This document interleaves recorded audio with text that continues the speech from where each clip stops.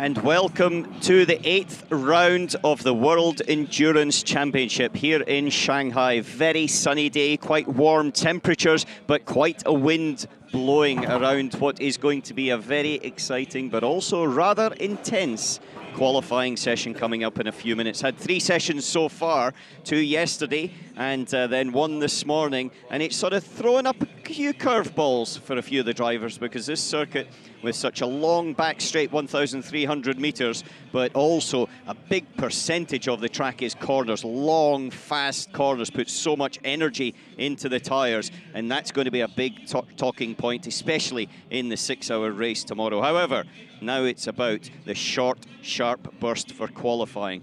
Here we are on the schedule, round eight, Shanghai, only Bahrain to go. However, all titles still up for grabs in the driver's title. GTE is going to be first, and that's going to be, I think, one of the titles that will go down to the wire. Allan McNish here in the commentary box, and down in the pit lane, we've got Louise Beckett and Louise is in the sunshine right at this moment. We can see some circuit work that went on, and that was because uh, the track actually broke up a little bit in free practice three this morning, so therefore they had to stop the session early and then to replace some concrete, which is now set in, and so it'll be fine for the qualifying to start. GTE Pro Battle is one part of it, but also GTE AM is another. We saw the Proton Porsches sitting there as Andy Priaulx is getting his helmet on. That, that car was leading the championship up until the last round in Fuji when they had a very tough one and now dropped down to fifth in the Drivers' Championship, so close as it is at the front of there. The four GTs resplendent going out, 66 in front, 67 behind. Priaulx and Tincknell in the 67 car. As you can see there on the graphic, it's not fantastically warm here in Shanghai. Sun is shining, it is getting warmer, but with air temperatures of 14 and track temperature, and that's the key thing, track temperature of only 16 degrees, significantly less than we saw earlier in the week. We're standing our commentary box right in the top of that fantastic pit building that looks over the start and finish straight and then out into the circuit. I said at the beginning it was quite a fast and flowing section of circuit there. That's turns seven and eight we were looking at. Two-thirds of this track is turning left or turning right and so therefore putting a lot of emphasis onto that tyre. The 86 Porsche, that's in the Pro-Am category and uh, that car is going to be started, I think, by Al Qubaisi. And uh, he's in a position, and uh, there we see our good pit lane reporter. He's going to be uh, starting it, Al Qubaisi. And Louise in the pit lane has got some information about him. Louise? Well, yeah, of course, Khaled Al Qubaisi has swapped teams for this one, or he's stepping in for Mike Wainwright. So usually we've seen him in the 77 Proton, but now he's with uh, Gulf Racing for Shanghai. Well, both in a Porsche, and uh, that is uh, it's going to be a little bit easier, but learning to get into another team. And now I've been joined in the comms box, running up to the heady heights of uh, the sixth six floor six. here. Six foot six and on the sixth floor, the one and only man. Hell yeah. Uh, you can have one of them. Uh,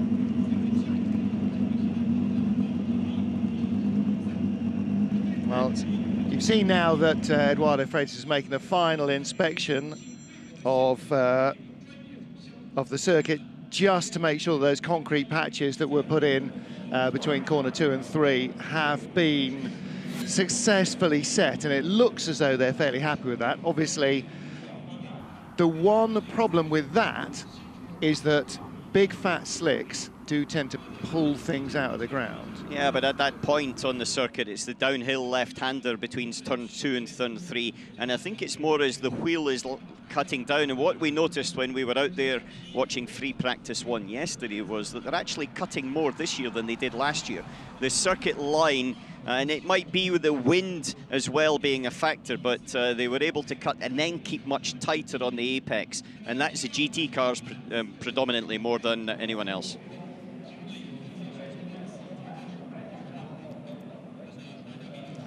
Everybody making their final preparations to go out for the start of qualifying, and the tyre stack has been taken away that was put in place to protect the concrete uh, by uh, for, during the Porsche race. Uh, one more of the support races due this afternoon to decide the fate of the Carrera Cup Asia Championship. A three-way battle between 2015 champion Chris van der Drift, Will Bamber, younger brother of Earl, and uh, Martin Ragging, a former Porsche junior driver. So that'll go on later on this afternoon once qualifying is finished. But Allan, even though we have got those cars as a sport race, even though the cars were out yesterday on track, doesn't seem to be an awful lot of rubbering in going on the circuit. It's still a fairly slippery track. And this track is that sort of odd combination that you get quite often of low grip but high wear. It's got a very different aggregate kind of mix in it to uh, uh, a, a, a track that you tend to see in Europe because of, I guess, what, what is available locally. Well, the circuit was built quite a few years ago now, over 10 years ago, but uh, you're right, it's got quite a smooth surface. Uh, however, with all the fast corners, especially in that sector two, uh, as we see there, and also including the first corner, to be honest with you, because it's so, so long that it puts a lot of energy into the tyre. It also has got lateral load, which means that the tyre slides across the top of the surface, and that gives it the wear. So we're going to have tyre drop-off in terms of performance in the race. We're also going to have wear issues as well. And uh, you're also going to have a third thing called pickup. When uh, you overtake another car and you get some of that rubber that's deposited at the side of the track gluing onto your tyre, which then gives vibrations, loses performance, and it's a downward spiral from there. So I'm sure we are going to be talking about it, but right now we're going to be talking about one lap. And that one lap is going to be key because the thing about it is that when you've got that sort of wear and this surface characteristic and everything else, it means that the pure performance on a new tyre is on that one lap. And there's a big drop in performance for laps two and three. So unlike maybe uh, Fuji, where we're looking at the second and the third lap as possibles, I don't think we're going to see that here. I think you're going to see one lap Banzais. And does that mean that we're going to see the team fitting a second set of fresh tyres for the second driver because if you don't, you're going to be on a hiding to nothing, really, aren't you? Yeah, I think you'll see more often that happening here than we would. We've seen that in LMP1, but uh, maybe a little bit less in the other categories. But I think it's going to be something that's a bit more predominant up and down the pit lane because of that. Now, they're very restricted for their tyres tomorrow, but I don't think it's going to be the critical thing in terms of doing you know three extra laps. We're talking yeah. about an out lap, we're talking about a qualifying lap and an in lap for the wear, but it does definitely have a big factor in pure performance. It's definitely not going to, those extra three laps aren't going to kill your tyre for the second hour that it's on the car. It's the second hour that it's on the car that's going to make the big difference. So if you give away that speed in qualifying, then you will just make your life a little harder when the tyre is fresh at the beginning of the racing. So everybody waiting for the tyres to go on. In fact, only the Clearwater Ferrari has started mounting its tyres. So that local car, locally based uh, driver lineup anyway, getting ready to go out right at the front of the queue. None of the Aston Martins, neither the AF Corsa Ferraris or the Spirit of Race Ferrari have got their tyres on, nor have the Porsches, nor have the Fords. So one minute, under one minute to open the pit lane, under one minute to open the pit lane. Extra careful at the apex of T3, please, gentlemen. Don't violate the inside of the turn very hard because we may go into damage and mess up the whole session. I think that's uh, a message from Eduardo Freitas, the race director, trying to be careful not to damage his brand new concrete, but I know that if I was sitting in the car, and it was going to be a two, two tenths quicker, and it's the difference between the point for pole position Under or not. 30 seconds to go green. Under 30 seconds to go green. Point for pole position and not. And that point could win me a world championship. I would do it without a shadow of a doubt. So I think that's maybe a little bit of a, a hopeful request as opposed to anything else. And and the other thing then is that you might want to get out quick and get your first driver's lap in and get your second driver's lap in quickly before Five, the surface deteriorates. Three, two. Yeah, well, I think one. you need to do that anyway. Qualifying for LMGT cars has started. Qualifying for LMGT cars. if you then deliberately started. cut the corner, you may end up making it worse for some of your rivals, and particularly potentially inflict some tyre damage on them. Out, out of the pits have gone the 67 Ford, saw the 77 Porsche going out, the 86 Porsche as well, Khalid Al Qubaisi in the car this weekend. Richard Lietz in the 91 Porsche as well. Talking on the way over with Nick Tandy about Uh, the IMSA Porsche's running 911 and 912. And I wondered if there was actually a legislation in FIA racing that you couldn't have triple digits. Because you could easily have, if it as much as 91, it could easily be 911 on the Porsche and 912. And then Aston Martin probably couldn't use 007, but they probably could. Doing some other racing series, like Yeah. in the, the US, then uh, the Aston Martins do run with 007 Yep. on that, but uh, certainly not here.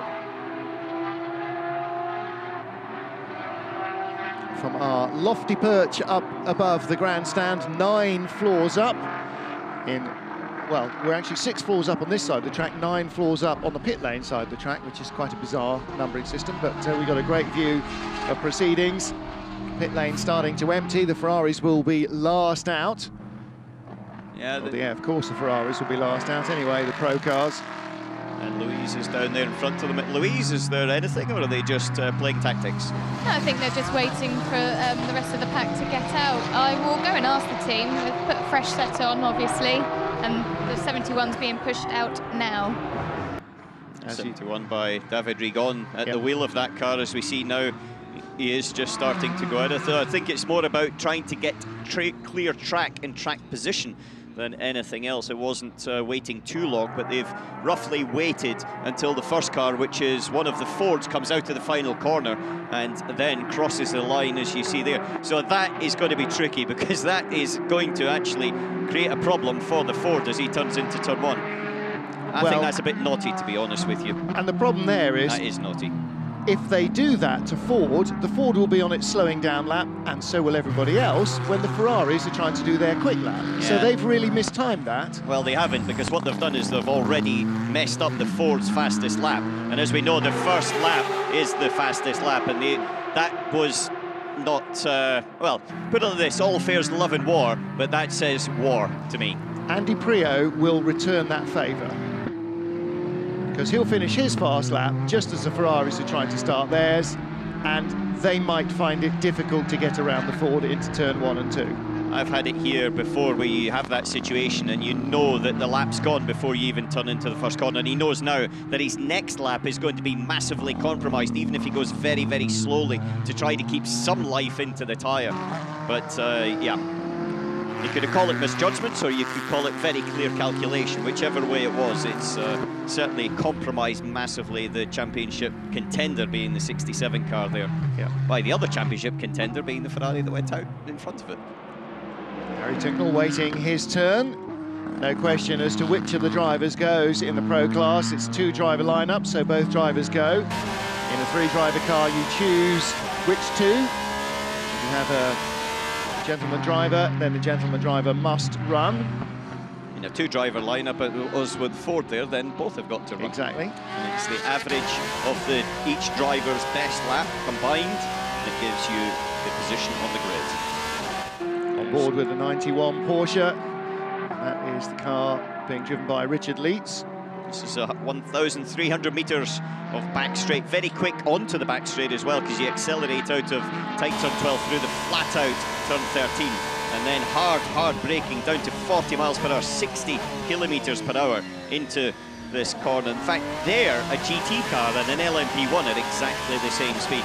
It's just when you get up to like to this, the final corner of the circuit, where you throw the car into the corner, have to hit that curve on the inside, or you run wide onto the AstroTurf on the right-hand side. That's where you see the big difference in performance between the different categories. 272 from the GT Porsche at the end of the straight, and the LMP1 cars will be topping out at almost exactly the same speed. P2 cu- cars will be faster, they'll accelerate further along the straight. And if they had a stiff breeze like they did yesterday behind them, that'll be pushing them right up against the limiter and probably beyond. Michael Christensen goes top ahead of Richard Lietz. Andy Priaulx has completed his lap 6.8 seconds behind. 6.8 seconds because of uh, that situation with the Ferrari at the first corner of his flying lap. But that lap time of uh, Christensen is quicker than anybody has done this morning. Fastest overall this morning was the Aston Martin of uh, Nicki Thiim and Sorensen there on a 59.8, but uh, he's been able to beat that already by three tenths of a second. Backed up, in fact, Christensen's gone quickest. Sorensen is now popped himself up into 59.8 in second. The Aston Martins were fast in free practice yesterday. There's the Spirit of Race Ferrari in the AM class. And that's 54 car Miguel Molina just drifting out wide, just keeping two wheels on the right side of the paint, or the left-hand side, but the correct side of the paint. And so that is a legal exit. If you go all four wheels off then, if you continue to do it in the race, you will be in trouble. Uh, Priaulx is uh, starting another lap, but this is already quite a chunk off. The tyre drop off quite significant. As has popped himself up in two minutes three, but that's down in sixth place for the Ford, and his teammate uh, is uh, Olivier Pla is up into fourth place. So that's eight tenths behind the fastest Porsche time, which means that to balance it out, Harry Tincknell has to find 16 tenths.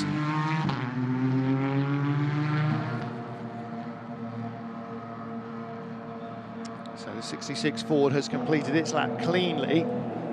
And uh, there might be a little meandering down to AF Corsa after the session and a bit of finger poking in the chest going, what on earth was that about? It's kind of difficult after the session. It's already done and dusted. Yeah, You know? you, you can't do it beforehand because you don't know they're going to trip you up and tie your shoelaces Yeah. together. I think in that situation, I think the discussion's probably during the session is what I was meaning. No, I agree.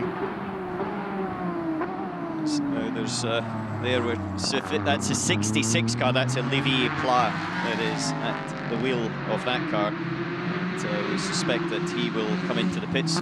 Yeah, straight in. Then the tight 90 degree left-hander as he's finished his time 12 minutes and 30 seconds to go. In fact, car 61 though has had his lap deleted through track limits abuse at turn 13. That's Mok in uh, the Ferrari 61. And that's an odd place, turn 13, because that's leading on to the back Yeah. straight. So, So he obviously ran out wider coming out there. Wide, I think he must have run it wider than wide. exactly. Well, only need, it's a qualifying lap, and everybody knows there's one lap, and so if you run out wide, you're going to lose your lap. Miguel Molina has lost his, and again at turn 13, not turn 16, the final corner. Oh, that was very close indeed. That was flirting with a reprimand or a loss of a lap.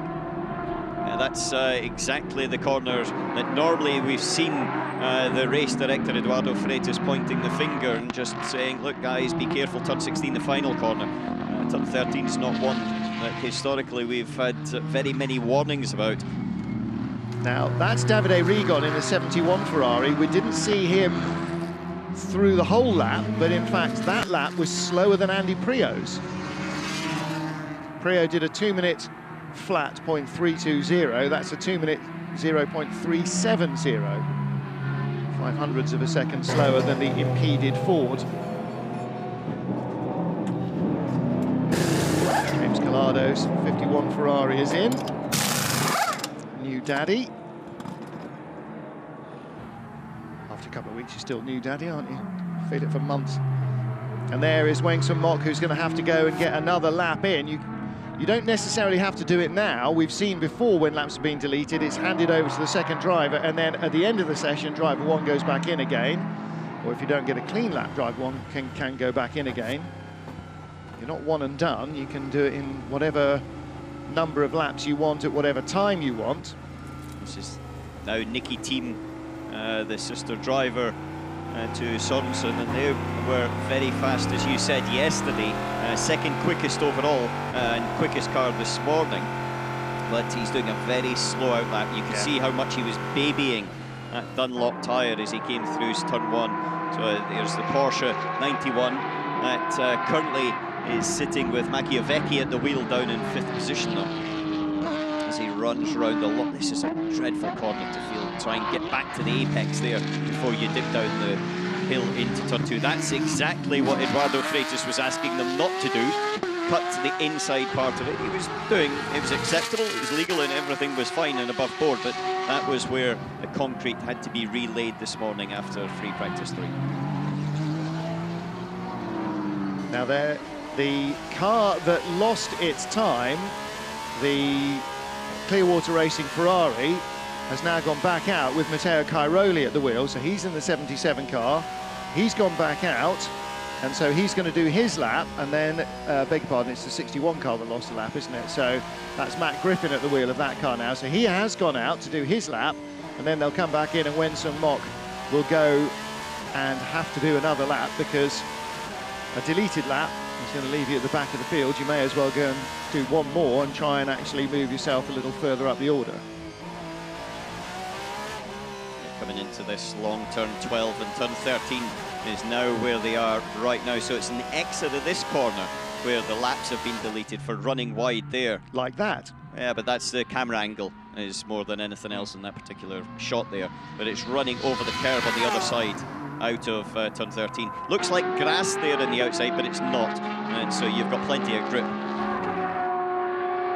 Yeah, some of the corner exits are green painted concrete and then turn into AstroTurf. As you come out of corner 16, the final corner, the first bit of green is brand new AstroTurf and the second bit of green is elderly AstroTurf. So you can see there's a slightly different green. And that was, a, again, a clean exit. In fact, uh, Makowiecki, you're right, it wasn't just the camera angle because he's just had that lap time deleted for track abuse at turn 13. Now, in a race, you get a warning for constant track abuse, but since everybody knows it's going to be a single flying lap, you don't get any chances here.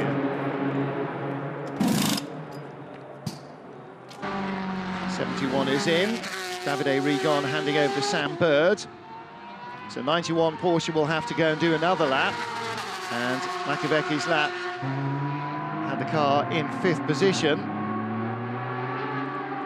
now not, that lap will not stand, so he'll have to go again and try again. 51 Ferrari Alessandro Pier Guidi now on his flying lap. Harry Tincknell on his out lap. Sam Bird just left the pits in the 71 car. Here's the Clearwater Racing Ferrari. Matt Griffin in the 61 car. 201.859 from him. Gaw, the head of the Aston Martin racing programme in the garage there, enjoying the fact that Nicki Thiim and Marco Sorensen have currently gone to the top of the tree in the Pro class. 95 Aston, currently the fastest car. Alessandro Pier Guidi has something to say, still in 51 Ferrari that's second. Kevin Estre, mm, he's done a 2-minute 0.2 lap, which is three tenths, slow, three tenths, not even 300, three tenths slower than his teammate did in the 92 Porsche. 97. With Darren Turner doing a 201.8, and they did a 201.1 on their first lap in the 97 Aston. That was Jonny Adam's lap. Here's the AM-class Porsche Matteo Cairoli. Ooh, four wheels off, corner 16. Now, it's not just one corner that's being watched, because, Allan, by running out wide there, you keep your momentum up, you kill the understeer, and no, you, you, gain keep, an advantage. You keep your momentum up, that's the thing, and the start-finish line is so close to the, the actual end of the corner that even if uh, you lose a little bit on acceleration, you gain so much more in mid-corner momentum. But uh, it's an overall gain 91 Porsche fueled to go out for another lap with Fred Makowiecki.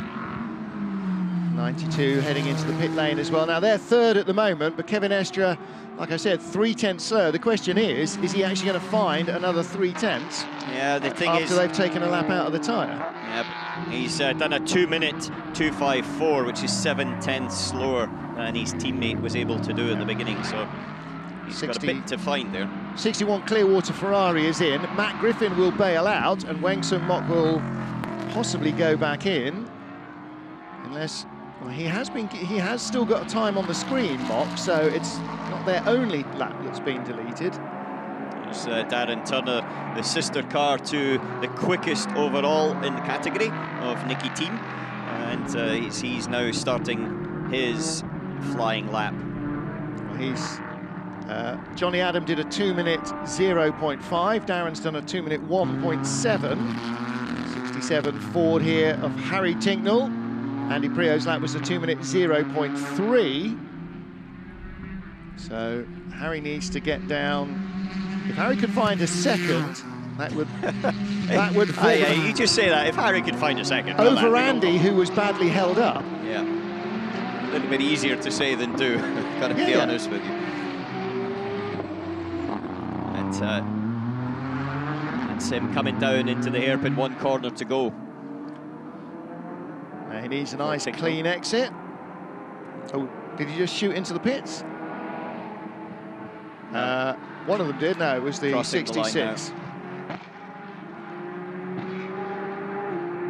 So Tincknell's six aid uh, faster first and third, uh, sec sorry, first and third sector of the car so far, but not the middle sector. So that drops them into six. I think they're going to struggle, to be honest, to come back from uh, the penalty of the first driver with three minutes 30 seconds. I don't think Andy Priaulx is going to get back in the car. I don't think there'll be very much reason to actually stick him back in the car because the game would be so high. Three minutes 24 to take the Ferrari team off their Christmas card list. Uh, I think that's about all you can do at the situation now. championship leader. Pier Guidi pops up into fourth place in that Ferrari right now. It's a two minute 0.59. Has anybody, any of the second drivers gone quicker than the first drivers? Yeah, you've had Thiim who's gone quicker than his teammate by uh, three tenths of a second, and so that's helped it. But everybody else has roughly done Yeah. the same sort of time uh, or slightly slower. Ah, time deleted for car 54, which is our current AM pole sitting Ferrari. That's the silver Spirita race car. So Thomas Flohr flaunting the see what I did there at the exit of turn 16. Yeah, and this is uh, Harry Tincknell again in the Ford, and he's gone quicker again in the first sector. And this is him now coming through the second sector, which was where he lost a little bit of time. It's not the car's fastest uh, through there, and then the final sector was where he was quick as well. So they'll be hoping to gain a little bit. It's more against their teammates who are uh, just about a tenth of a second up the road, and then it's two tenths up to Pier Guidi in the Ferrari and Makowiecki in uh, the Porsche. So it's going to have to be a pretty good last sector from Tincknell to be able to make that particular jump. Nice and line just inside as he crosses uh, to finish the lap. And yes, he does go ahead of Mücke in the other Ford. So they're winning the Ford battle, but uh, it's now half a tenth of a second behind uh, the next car up the road, which is that Ferrari of Guidi, the one without the Christmas card. Indeed. So Aston fastest. That looks like they have pole in the pro class. This is Thomas Flohr putting in another lap in the 54 car that's currently got pole in the AM class. And 0.70 behind, which drops them down to third place. And that means Aston Martin, at the moment, have two pole positions. So that lap from Thomas Flohr that was deleted, the one that counts was a 2 minute 4.6, and that means Paul Dalla Lana and Pedro Lamy in the 98 Aston have the AM class pole. So there's the Dane train on pole position in the pro class, receiving congrats from John Gaw. Nicki Thiim with the hair, Marco Sorensen without, with the racer's haircut, the Marco Apicella look. For those of you of a certain generation, then Marco Apicella was a fantastically quick racing driver. In, uh, in fact, someone I raced against a lot in the Yeah. early 90s. And in Formula 3000, which is uh, now in its last iteration called Formula 2. But uh, anyway, that's something different. This is Makowiecki, as now he comes through turn 9, 10, and then up towards uh, the sort of long corners onto the back of the start. Uh, sorry, the long back straight. Makowiecki, though, down in sixth place right now. A second, 1.1 seconds off Yeah. Nicki Thiim's time. 201.3, his last lap. Checkered flag is out, so this is it. He might, what's their average? Four tenths, 45 hundredths even to get in front of Stefan Mücke in the 66 Ford. It's not happening, is it? I don't think this is going to happen for Makowiecki. Not on a third lap on the tyre. There must be a bit of a difference here because Estre in the sister car to that uh, put in a pretty blinding lap time and is up there in second, 59.5. Oh, he's just come in, so he shot straight in. And there are your pole sitters in the AM class, Paul Dalla Lana, Mathias Lauda again in the cap, and uh, Pedro Lamy in the centre there. So that's not a bad qualifying uh, session for Aston Martin at all, is it? No, certainly pole position means point as well. Yeah. But uh, it doesn't mean anything for the race tomorrow because no. I think the limitation on the tyres that they have by regulations will mean that uh, there's got to be a lot of thought goes into uh, making sure you get the right setup for the car with the cambers and the pressures. But uh, right today, it's about these two guys. And they look rather happy or violent. A couple of Vikings, I would have said. Crazy Danskis. Well, let's get down with Louise Beckett to the Aston Martin garage and hear from our GTE Pro pole sitters, their Nicki Thiim, and we'll hear from Marco Sorensen. Marco Sorensen just getting the congratulations from the team there. That was a good run from both of you. For sure, for sure. It's always good to get the get the pole position, and I think that we actually squeezed what we could out of the car uh, today. We were within two tenths of each other, and I think we can be really satisfied with getting this pole. Um, but then again, we have now we have to start focusing on the race because that's going to be a, a really hard one. And this one was uh, more like a get this out of the way so we can get get to the race. But really happy with my lap, and I'm sure Nicki is happy with his lap. So that's what brought us to this point. One point. One point. We need it in the championship, don't we? Thanks. Yeah. Well, this is Andy Priaulx's great maxim when he was a World Touring Car driver. Never let a single point escape. Never stay in sixth if you could get fifth. Because if you're a point behind at the end of the season and you're applauding somebody else, Mm, yeah. Every time you get in the car, Allan, it's maximum performance every single time. I would agree with that. However, they're 32 points behind uh, the championship leaders at the moment, which is uh, Pier Guidi and James Calado in the 51 Ferrari. It's third on the grid. Well, let's get down to our other pole sitters in the GTE AM class, Paul Dalla Lana, and we'll hear from his teammate Pedro Lamy. Well, this makes a nice change. I don't have to run down the pit lane to get to the next interview. So um, a great run from both of you. Yeah, it was great. I mean, uh, Paul, uh, once again, he made the difference. Uh, I mean, he did a very good lap and um, brought us to, to Paul. I mean, I was really close to all the other cars, a, a bit uh, one tenth, a bit slower than the fastest, and Paul made the difference, and so he, he made the pole. Yeah, okay, well, it's a team effort, let's say. Uh, all but the, and all together, as you say, the Aston Martins have been strong here. Yeah, I mean, looks looks uh, good so far, but this track is very demanding for the tires, so the long stints will decide the race. So hopefully we have a good car through all the race and uh, do all the stints in a good rhythm. We'll see how how gonna be comparing to the others. Thank you, well done. Thank you. I think that's his point there was uh, the second stint because they will have to double stint tyres, something that we've not historically done here at Shanghai because of performance, but because of tyre allocation, we always had an extra set of tyres by allocation to allow us to single stint the tyres. However, that's not the case uh, tomorrow, and so therefore that second stint is going to be the dictating factor, in my opinion, of A, driver mistakes, and B, the race result. But uh, that's GTE and, G- and GT AM. Now we're on to LMP1 and LMP2. Absolutely right. So they will all go out for a 20-minute session, exactly as we've just seen for the GT cars. Prototypes will go out, LMP1 and LMP2. You can go out whenever you like. But again, two drivers must each set a time, and it is the average of their best laps. And best laps this morning was done by Toyota number seven, a one minute 44.888. And now we're in China Eight is a very lucky number for the Chinese. Mm. 88 is even luckier, and 888 is even luckier than that. You can't pay money to get 888 on things, can you? There is our overall classification then after qualifying in the GT class in GTE Pro. Aston Martin racing number 95 ahead of the 92 Porsche and the 51 Ferrari.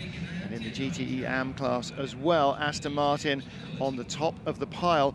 And as Pedro Lamy pointed out, it was a clean, quick lap by Paul Dalla Lana that made the difference. Most of the other gentlemen drivers made mistakes, cost themselves laps. Let's hear from the number two Porsche team. Radio check out, one, two. Uh, so a few of the GP guys had laps cancelled, uh, turn 13, turn 16 uh, track limits. So it's track limits, turn 13, turn 16. Yeah, copy that. I don't think we'll have any problems with track limits unless it's overtaking a car uh, in turn 13 with the LMPs because they've got so much downforce that you don't need to go out there at all. Uh, turn 16 is a different matter. Nelson Piquet Jr.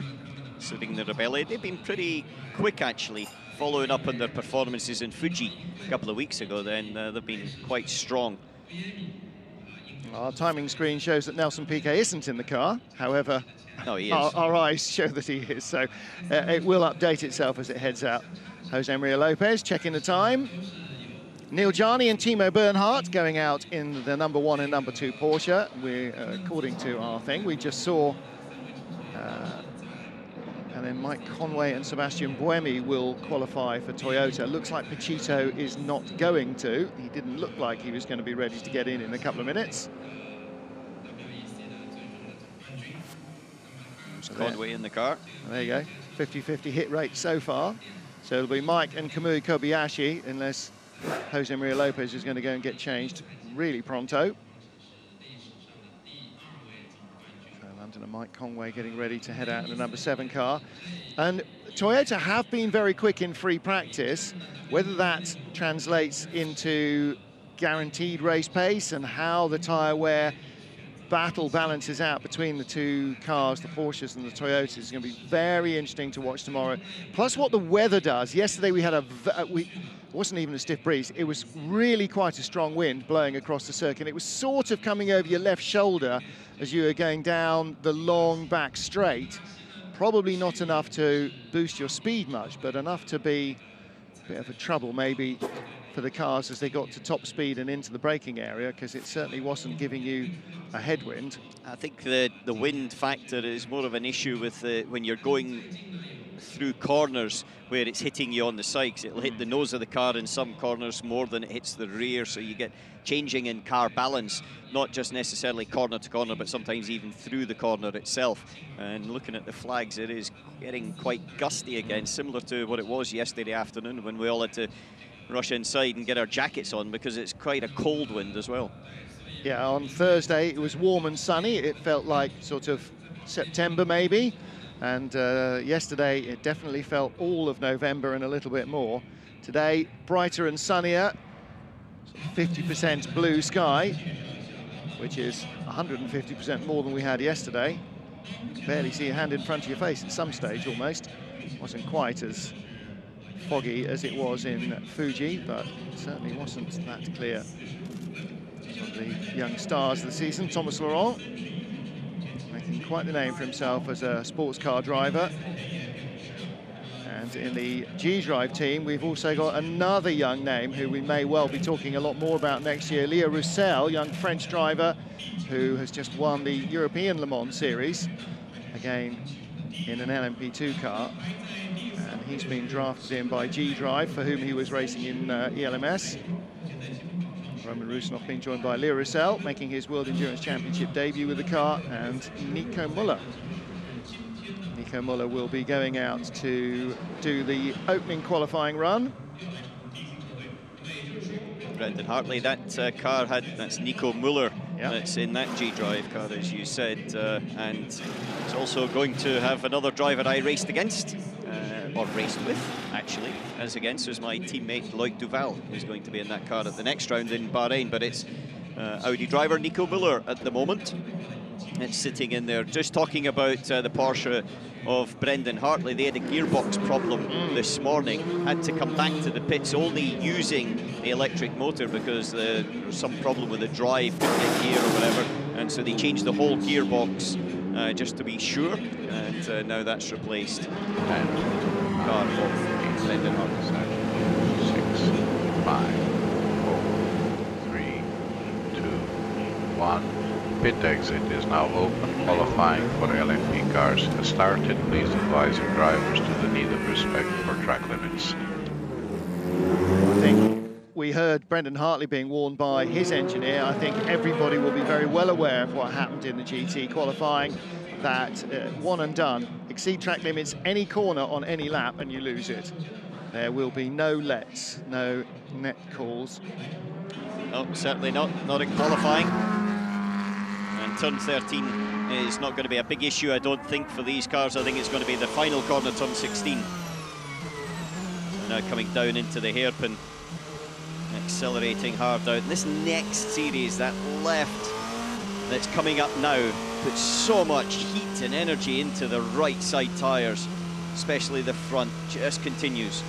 And then into the left front as you now come through the long right hander and you hear here that uh, the Porsche is going rather slowly. Brendan Hartley at the wheel of this car, just trying to maintain and keep the tyre temperatures down to some sort of level where they can control it to ensure that he get his qualifying lap absolutely right. The thing that he's got to do is to make sure that uh, the hybrid is up and also the tyre pressures are there as well. Okay, tyre temps around 70, 70.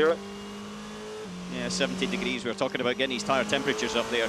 That's the key thing, 70 degrees. They'll come out of the blankets probably about 80 degrees Celsius. A little bit of dropping down of that. However, it's a balance between your tyre pressure, tyre temperature, and also the way the compound is reacting. So Brendan's getting the information on the numbers, but he's feeling it through the steering and the response of the car right now. But uh, this is it. He'll go through the final corner, and uh, then we'll see the lap. So topping out at 270 down the straight, we saw from the GT cars, topping out 272.45 as he rushes up towards the line to start his. It should be a single flying lap. Earl Bamber there with a helmet on, ready to go, so it'll be both Kiwis doing qualifying duty. Nick Tandy is in the number one car. It's Conway now in uh, the 7 Toyota as he dips down into the hairpin turn 5. This is Six. his out lap, Conway. So he left a lap after the Porsches. Number eight car yet to leave the garage. Just rolling out now as the number two Porsche, Brendan Hartley, halfway around the lap. And his teammate Nick Tandy behind him. Tandy quicker in the first sector by three tenths of a second Wow. to Hartley. So Tandy is the car that's on the move, the number one car, which is just behind this car that we're watching. We're now on board with Nick Tandy as he comes through turns nine and 10. And uh, we'll see on the second sector, which is at the exit of the next couple of corners, what it's like. But three tenths in his pocket right now. That's a very good first sector by Nick Tandy. He's about uh, seven or eight seconds behind on the track, and that is another. Mu- yeah, that's Hartley's gained the tenth of a second back, so it's still advantage by uh, tenth and a bit to the one car over the two car, but it's going to be very, very tight, as you would expect. Top speed from Brendan Hartley, 288.8. From Nick Tandy, 285.7. Does that indicate that the number one car might have a little bit more downforce wound onto it? Uh, Hartley crosses the line, talk about that in a second. 43.3 and a 42.9 by Tandy, so 43.3 and then a 42.9. Tandy was able to gain two tenths in the final sector, and you said he was a bit slower in top speed, but uh, that's top speed. It's how you get there as well, Yeah. and you're harvesting and recuperation of the energy. But blind in time by Nick Tandy, strong by uh, Hartley, blinded by Tandy. Let's see what Toyotas have got to be able to deliver with that one. I was talking to Nick on the flight out, and he was saying you've got to have the balance here between low drag for top speed, but you need the grip, and especially because the tyres are more limited than ever before. This is the now with Conway on board. He's kind of close to what Hartley was able to do in that first sector. Not quite as quick as uh, what Tandy was able to do. But this is the area where Toyota struggled, this middle sector. They were very good in first and third, but the middle sector, it looked as if it was a little bit more Porsche's area. In the LMP2 class, Vitaly Petrov currently the man with the fastest lap ahead of Ollie Jarvis by uh, exactly a tenth of a second, but third fastest. Oh, Bruno Senna now pops the top of the pile in the 31 at Rebellion. Hey, this could be it. Conway has been quicker than anybody in that middle sector. They've looked like they've got it sorted out, definitely for qualifying. Comes up to the final corner. Is this going to even eclipse Nick Tandy's time? Comes through the final, keeps Nice. it well inside the lines, no problem. Nice Track limits line. there. Crosses, and he doesn't go second. Splits the two Porsches. Conway in second behind Tandy, a couple of tenths behind Tandy, and a tenth and a half ahead of Brendan Hartley. And the number eight car with Sebastian Buemi on board. That's that's uh, quite a bit off in the first sector, though. He's Yeah. going to have to make up a lot in this final sector, coming through 12 and 13.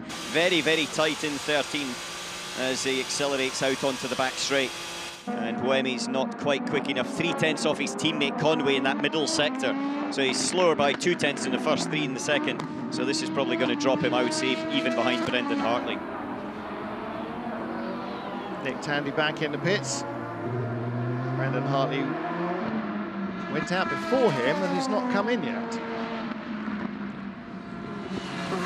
Now, not quite sure why that would be. There's uh, now, yeah, Fourth place is for the eight fourth. car. You know, Buemi, you could see the look of uh, frustration as he came across the line. The little hand gesture was, "Ah, rats. Uh, first and second sector wasn't good enough. Final sector was pretty good. But uh, now Andre Lotterer has climbed aboard that car of Nick Tandy. So this is uh, the car that's on the provisional pole right now after one lap. Back to the LMP2 battle. And uh, this is Piquet Junior. And he comes out there second at the moment. We've got a Senna on top, a Piquet in second. 31 and 13. It's the two Vaillante Rebellion cars ahead of Ollie Jarvis in the 38 Jackie Chan DC Racing car. There's Jarvis. And who's doing the second run? Is it's her.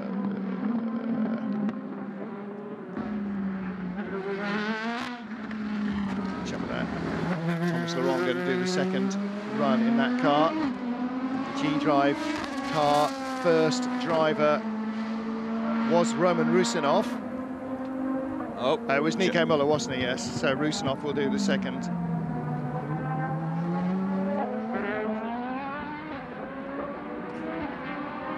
And just a little aside, you said asked why Brendan Hartley was uh, actually staying out. is because he obviously made a mistake on that first lap, and he's now popped himself up into second place uh, with a much better middle sector, but then the best sector of anyone in the final part. And so Hartley is now second, six hundredths of a second behind Andre Lotterer.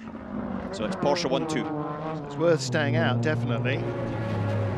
That's uh, that's the problem is with the Dunlop tyre and the, everybody's got Dunlops in LMP2 and what they're struggling with is that change of direction you come through the long right-handed and then you've got to brake while loaded up onto your left rear tyre and then shift the weight onto the right front tyre and uh, that's where they've had some stability issues. Also that's one of the areas where the wind will play a factor because you suddenly get the wind pushing the front of the car and then pulling the rear round as well.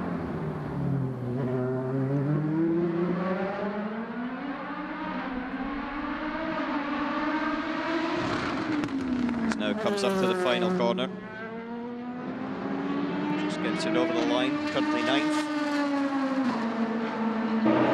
Improves up to third place for Nico Muller. Now, I was suggesting that Roman Rusinov would probably go out and do the lap, but he's rated as gold, and Leo Roussel, the new boy, is only rated as silver. So he is the lowest rated driver, and the, the rules say that he should be the one that goes and does the second wouldn't necessarily say he's an amateur driver in terms of his capabilities. He might be the lowest rated in terms of uh, the official licensing side of things. Yep. Mighty 38, the new Mighty 38 with another star of the future, Thomas Laurent. So he pulls it through. That's a good onboard. Just watch this particular shot if we follow it, how much turning they do. They do about two-thirds of the circuit is turning left or right, and you see what work the driver has to do. Then think of what, what the tyre has to do as well. Andre Lotterer on his quick lap. So, very quick turnaround from the number one Porsche. Tandy in fast and handing it over to Lotterer. Fresh tyres going on the Toyotas. Number two Porsche is in the pit lane as well after Brendan Hartley's second flying lap was an improvement. Must have been a significant error on his first one. This isn't a fantastic Oh, first Not great, catching a P2 car. Wasn't a fantastic first sector by Andre either, and he's now run wide out of turn 10, missed the apex there. So he's compromised through 9 with the traffic and uh, through turn 10 by just running that little bit wide due to that traffic as well. This is going to be a fantastic middle sector, I don't think, by Lotterer. Uh, they've got six hundredths of a second to play with here in comparison to their teammates. It, so he had to turn it tight, but then he ran wide in the middle, which meant he couldn't get the apex coming out of the next part. That was Mathieu Vaxivière on his out lap in the number 28 Oreca. Lotterer, the end of sector two, couldn't get a time from him, so... Sector two, total time 111.89. Yeah, It's just not updated at the moment, but anyways, he now comes across the start and finish line. Three quarters of a second back. Yeah, that was a 43.7 there. Eight tenths. Wide exit from the 38. At the final corner, not too wide. This car currently fourth. Slips to fifth on aggregate. Yeah, but Thomas Laurent there a couple of tenths behind Ollie Jarvis earlier on in the car, so a good lap by by him there. Earl Bamber is now into the car number two. Oh, and he's had a spin. That's been a bit of traffic there. That's exactly the same place where Andre Lotterer got caught up with the traffic as well, coming through turn eight, long right-hander, and then that change of direction, as I said. Now, that's not necessarily because of that car ahead, uh, because of him being in the wrong place. It's just losing a little bit of the rear aerodynamics as he has now uh, came behind him in the cross wake of it, and you lose the rear and sort of half spun through there. So that tyre's going to be slightly damaged as well for Earl Bamber. Well, the uh, stewards have deleted that lap, but then the- that was Andre Lotterer's lap. So Lotter, Lotterer will have to go and do a second lap in the number one car. He's out there right now preparing the lap. In fact, just crossed the start and finish line. So Andre Lotterer is uh, on that second lap because the first lap was deleted through track limits at the final corner. Was going to ask you, with Kobayashi in the number seven car, they were only 17 hundredths off the fastest time set by Nick Tandy. So they're in with a shot at it as well. And the number two car having to do that extra lap. And now Lotterer half spinning and possibly, well, ruining one lap, possibly not doing the tyres much good either. It might sneak in under the wire here. Kobayashi started his quick lap, so has Anthony Davidson. Julien Canal in the 31 uh, has gone on top of the pile. Looking at Nico Lapierre in the 36 Signatech Rebellion. Ooh, that was all four wheels off out of the final corner, I think. I was looking at the lap time, so missed Yeah. it, and but it was a quick lap of 49.6, which is only 300 slower than the quickest overall. Got to say, it didn't look like he lifted into turn one. He certainly, if he's run wide, he didn't lift into the final corner either. But uh, Anthony Davidson at the wheel of the Toyota. Kamui Kobayashi, fastest first sector of anybody. Yeah, that's a sister car to this one of Anthony Davidson, and he, Kobayashi's pushed it massively in the first sector. And that is the better place for the two Toyotas after the first driver stepped out. Uh, here we're on board with Kobayashi coming up towards the end of the second sector, and uh, this is a very, very quick lap so far by him. See what he does when he comes through turn 13, back towards uh, Anthony Davidson at the end of the straight, breaking down into the second last corner. But it's Kobayashi who's quickest Yeah. in the middle sector as well. He's ahead. Kobayashi quickest in first and second sector right now. Fastest lap of all so far, by the way, from Andre Lotterer's, uh, must be from Nick Tandy's number one car, but Yeah, I think this, that's could, going to be eclipsed though. this could be a really good shout from Toyota. Kobayashi, Davidson crosses the line, quick lap equals his teammate's lap by the hundredth. However, this is the one we're looking at. Kobayashi as he comes out the final corner. Here he goes, Kamui Kobayashi lunging for pole. Both Porsches still with another lap to go. The Kobayashi 142.526. That's the fastest lap we've seen here in Shanghai. Yep, we thought uh, that the first lap was very, very quick uh, in the Porsche of a 42.9, but that's just been eclipsed 42.5. I don't think either of the Porsches is going to get a second lap out of their tyres that's as quick as that. Mighty 38 will have a lap deleted. That's Thomas Laurent, who's 38 Jackie Chan DC racing car, currently fourth fastest. You're looking at him here, so he's going to have to go again. Was he all four wheels inside there? Sliding around all over the place. Now, Porsche uh, miscued with the number one and the number two car. There's Bruno Senna. Yeah, well, they're looking happy. Not 100% sure they miscued in terms of they had a bit of traffic on one side of things and then there was a slight spin in traffic as well uh, by Earl Bamber. But then that brings up the question whether you go for another set of tyres and use three sets of tyres to try to gain the point. For the world for the world championship manufacturers and drivers I don't think it makes any difference to be honest with you. But uh, in terms of uh, their desire to have pole position here in China it might do. Leo Roussel on an out lap fresh tyres on the G-Drive car so he is having another shot and that strange looking person in the Rebellion garage was not Nigel Mansell or a close relative that is in fact Bruno Senna The curly hair is the giveaway. The tash, though, is wrong on all sorts of levels. November, Movember has a lot to answer for. Roussel coming through turn three and four. And the rear of the car still gripping up here on that new tyre. However, in the race, we're going to see some decent armfuls of oversteer coming out of that corner. It's hard at the best of times, but uh, towards the end of a double stint, it's going to be increasingly hard for the LMP2 cars. Every time you slide, it takes even more out of the tyre, overheats it even further, so the next corner you've got even less grip. It's that vicious spiral.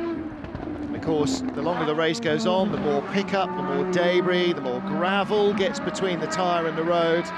Situations just get worse and worse. Now, can he find anything here? fastest first sector for the car on this lap from Leo Roussel, so it looks like it was worth going out again. Andre Lotterer in the inset, still in the number one car, and Earl Bamber still in the number two. Now you wonder why they're looking left. They're looking actually at their uh, engineer who's obviously talking to them and natural reaction for the driver is you look to the person that's talking, even although it's over the radio, yeah. uh, your head just goes to where that is. And so I'm sure the discussion there is, what do we do? Because Kobayashi's lap time is there, but the average is uh, actually a lot closer. Number one Porsche, 44 hundredths behind on average, so he's going to have to, Lotte would have to find another half a second. That means throwing another set of tyres at it. Earl Bamber, 0.66 behind. 26 car comes to the line as Andre Lotterer gets out of the Porsche. They will not put more tyres on the number one car. A minute and 49. Don't know why Earl Bamber's staying in. He's not going to get round to complete it to start a lap. Yeah, he's not, but uh, that, that lap by Leo Roussel was very good, but it puts them in second place, and uh, that by a quarter of a second as well. As now the 28 car has got Mathieu Vaxivière in there. Yeah. A bit of congratulations in the Toyota garage. Job done. Yeah, number Kobayashi. seven car, Kamui Kobayashi, Mike Conway. Looks like they have pole position in the LMP1 class. And the strange-looking combination of, of yeah. curly hair and Brummy Tash on Bruno Senna and Julien Canal on the right there. They will start from pole in LMP2. The number 31 Vaillante Rebellion ahead of the 26 G-Drive car. And uh, Leo Roussel, that second lap that he put in, first and second, sec second sectors were the fastest for the car. It was only the final sector where he just didn't have enough left to try and challenge for pole position. Third in the LMP2 class is the other Vaillante Rebellion car. And there you can see the track records from 2016. And that best lap in qualifying, 1 minute 42.5. 1.26. Fastest Toyota lap this morning was that 44.888. Yeah, that's with a little bit of fuel on board, so therefore it's not a surprise. Leo Roussel still out there. Is he continuing on a lap? I wasn't actually No. watching as comes into the pit. Flying in. Ah, Mathieu Vaxivière is the other person that's out onto the circuit. He's just had a lap time deleted for track limits at turn 16, the final corner. So it's not the first time, I don't think we've said that in qualifying. No. And uh, Ma- Mathieu Vaxivière is now the checkered flag as he now comes into the final corner. This is where he's got to keep it nice, oh, nice and tight. That was so close. Was that close? Was there chalk dust? He takes the checkered flag. There are no other chances. Well, it moves him up from last to not last. Yeah, second last there Yeah. for that car. So eighth overall in the class for Vaxivière, but uh, certainly wasn't going to challenge these guys. Rebellion, pole position, very happy, and uh, they've delivered. They've got stronger and stronger, certainly over the course of the last couple of races. And the overall pole position was delivered actually by this man, Kamui Kobayashi. Conway set it up, but uh, then Kobayashi hit it out to the park. Yep. Jose Maria Lopez will join them in the race lineup. They will be the three men whose car starts from pole position. Toyota number seven ahead of Porsche number one. And then the number eight Toyota lining up third on the grid ahead of the number two Porsche. So it'll be Porsche's line astern alongside Toyota's line astern with the number seven car on pole position. Vaillante Rebellion cars will be line astern, 31 ahead of 13. And between the two of them, number number 26 G Drive ahead of the 38 Jackie Chan DC racing car. David Cheng in the other Jackie Chan DC racing car will be the final LMP2 starter. So it was clean laps as well as quick laps that in the end decided qualifying in all the classes. Any driver that made a mistake cost his car a chance to start at the front. Let's hear from Toyota number seven driver Kamui Kobayashi. Well, Kamui Kobayashi yet again proving that you are quick out there, especially in qualifying. Seven's been quick for most of the sessions so far this weekend. Can you translate that into a win in the race? Yeah, I mean, obviously, I think uh, the car was really good through the week. Uh, since from the, the practice one, we feel quite confident with the car. And uh, I mean, long time we haven't been so strong from practice, so I think that we were pretty confident. Originally, I was not uh, planning to go quali, but uh, I think that I was feeling good with car, so we just after practice we decided to go myself to qualify, and uh, we made it. It's a good lap time to, to have the, the pole position, which is happy. And of course, obviously, I think the team made really great step and a great job, and I'm so happy. And of course, I think this is uh, you know just quali, but at least I think the, to start in the pole position, which is great. Thank you very much. Happy boys in the number seven Toyota camp, and they'll be equally happy boys, I'm sure, in the number 31 Vaillante Rebellion team. They didn't quite lock out the front row in LMP2. They will start fifth and seventh on the grid, first and third in class. The two Rebellion cars with 31 ahead of 13. Anybody thinking of growing a moustache for any reason other than Movember? That picture of Bruno Senna is your advice right there. I, I leave it with you. So, uh, qualifying, no dramas in the end with the uh, broken bit of concrete. So hopefully that should all be good for the race. Let's get down to the Vaillante Rebellion garage. Louise Beckett has hot-footed it breathlessly to meet them. Well, both Julien and Bruno are here. Sorry, I've lost my breath from running. Uh, but I have to speak to Bruno, don't I, with that lovely mo. Yeah, it's uh, for November, so it's for a good reason. Um, but yeah, fantastic. To our, first pole, really when it counts, uh, especially when it counts that uh, 38 is uh, P4. So really, the more cars we can put between ourselves and them will be important. Juju did a great job. The team did a great job. The car was fantastic for quali. It's been fantastic most, most of the time, but here I think we really nailed it. And um, yeah, it was a nice lap. Everyone's talking about tyres, so can yours last it out for the six hours? I think so. Uh, looking at our our bag on the practice session, it looks very good. But you know, the race is long tomorrow. A lot lots happen during the race, and uh, we need to be humble. But for sure, we start from the best position possible, and then tomorrow it's. Just look forward and try to build a gap.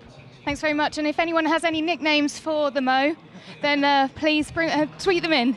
Nigel Mansell, I think, is Yeah. uh, the nickname that you've got for the man there. I think So we'll call it our Nige. It is It's, our uh, Nige. Louise uh, sporting her Superwoman. Uh, so she's now driving, Wonder Woman. uh, running down the pit lane. We need to get one of those uh, red Baywatch, you know, sort of surfboardy things that they use. That's that's that the only thing that's missing. I think there. we need to get you out running the track later on tonight. We'll but there is that. that. pole position winning car that uh, delivered a lap time of 42.5. I don't think that many people are going to beat that today.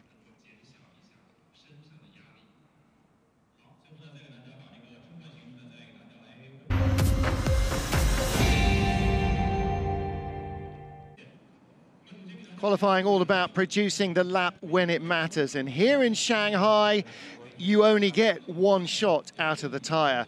If you mess it up, then suddenly you are on the back foot. And everybody understood that going in.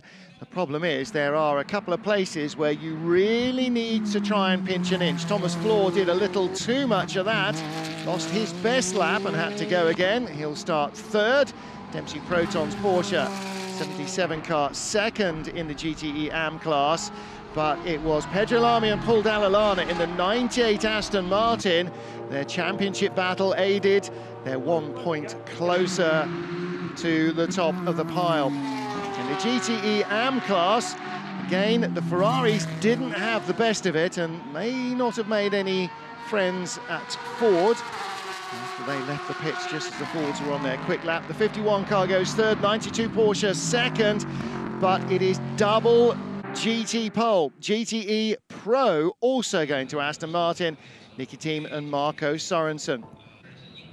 And the prototype qualifying, the same rules applied, but they were very much aware that a number of GT drivers had had fast laps disqualified for even the minor transgression of one corner outside track limits. So everybody had to be on their mettle. Third place went to the number 13 Vaillante Rebellion car. A second sterling effort from Léo Roussel kept the 26G drive car in second place, splitting the Rebellions. But a first pole in LMP2, uh, Julien Canal and Bruno Senna doing the driving in the 31 Vaillante Rebellion. In the top category, both the number one Porsche, fastest lap from Nick Tandy, and the number two Porsche had problems with traffic, spins, and that left the door open. The number eight Toyota of Anthony Davidson went third, the number uh, one Porsche second, but it's pole for the seventh Toyota. A bright, sunny afternoon here, but the temperatures reflect the fact that it is November and not late summer.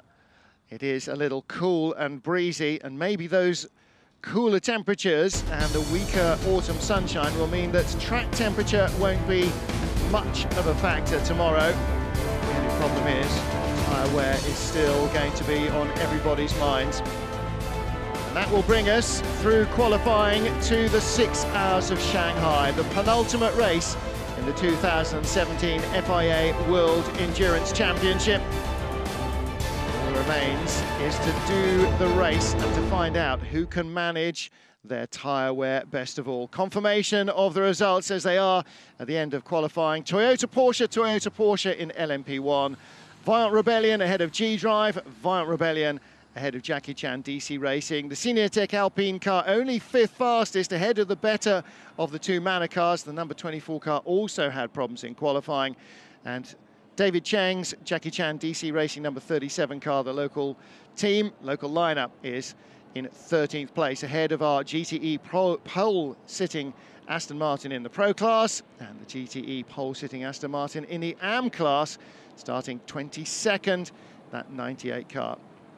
Well, yesterday was visibility very reduced. Thursday and today, it's been bright and pretty clear. Could go either way tomorrow. Temperatures aren't going to be scorching, but as long as it is clear and dry, then everybody will be happy with that. Allan McNish final thoughts after qualifying. Did we see anything really that shocked us other than a couple of little errors from the drivers under pressure? Uh, not necessarily. I think the thing that uh, sets it up well is that uh, you've got the GTM guys uh, and GT Pro. The, the uh, car there is also on a different tyre. The Aston Martins run the Dunlops, whereas everyone else runs Michelin. So we'll see how that plays out tomorrow. But uh, in terms of the LMP1, positively surprised by Kobayashi's lap because that was a lap that you'll go home and remember. Yeah, he really pulled out a very big performance. The GT class, Aston Martin with the pace over one lap. We'll have to see who comes out on top after six hours. And this will likely set up a championship deciding battle in the final race in Bahrain. But there is plenty of racing to do here in Shanghai. Join us for all the action on Sunday morning.